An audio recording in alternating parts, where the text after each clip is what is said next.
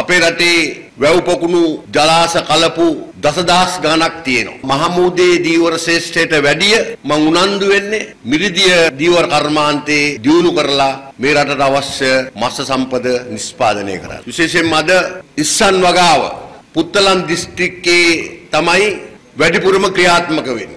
ඉතින් මේ දිස්ත්‍රික්කය අපි පෙරදැරි කරගෙන රජයක් හැටියට ලබා දෙන්න පුළුවන් සෑම සම්පතක්ම සෑම තාක්ෂණයක්ම අපි ලබා දෙන්න කටයුතු කරමු.